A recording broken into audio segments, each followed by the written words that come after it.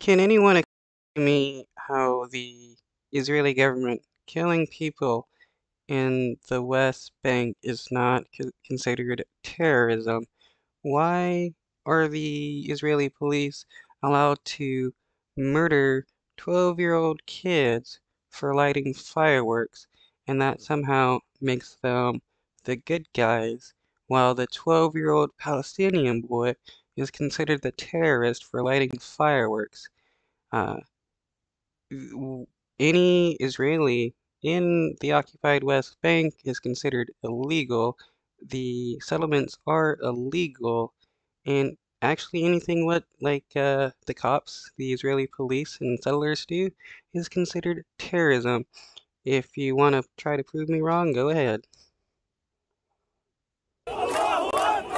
Anger and grief filling the streets of Anata in the occupied West Bank, where a 12 year old Palestinian boy, Rami Al Hawli, was shot and killed by Israeli police, according to the Jerusalem Palestinian government. It happened last week in a refugee camp.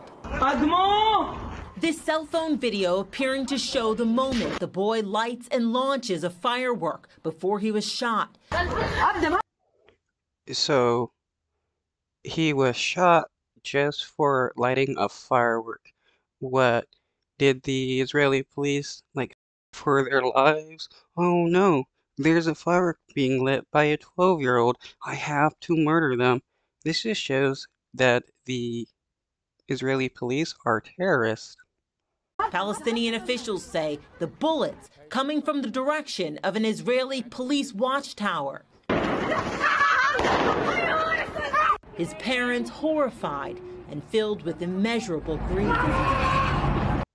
And somehow I'm supposed to believe that the Israeli government are the good guys when they're murdering people just for playing with fire and the West Bank.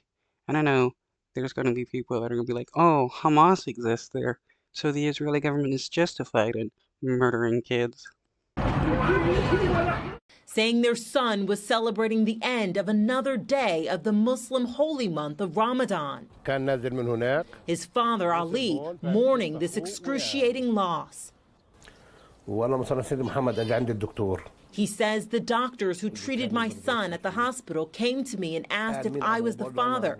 He said, The boy is dead. You brought him dead. I couldn't do anything. So if Palestinians in the West Bank decided to defend themselves, they they would be justified because the right to self-defense, just like the Israeli government. What is the Israeli government doing in the West Bank? They're murdering people and stealing their land. You just have the uh, Israeli government uh, come out saying that they're going to steal almost 2,000 acres of land from the Palestinians in the West Bank. Uh, if they decide to take up arms, they have that right. In a statement, Israeli police say a single shot was fired by a border police officer towards a suspect who endangered the forces while firing aerial fireworks in their direction. Wait, they endangered Israeli forces? Uh, Israeli forces that shouldn't even be in the occupied West Bank? A laugh. Lighting a firework doesn't endanger anyone. It, that's just the excuse they're using to justify their murder. But the Israeli government says it's investigating the incident. Since October 7th, at least 435 Palestinians have been killed at the hands of Israeli forces in the occupied West Bank and East Jerusalem, according to Yeah, that's terrorism. 400 people being murdered by the Israeli government in the West Bank, a place where the Israeli government has no right to be. the Palestinian Health Ministry. And approximately 100 of those deaths were children under the age of 18.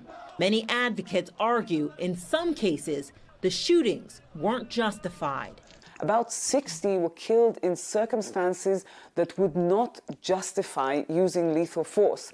These are, for example, cases of stone throwing, of uh, protests, of setting fire to tires, or in some cases, even just bystanders. Yeah, because the Israeli government loves to murder kids and then justify it by claiming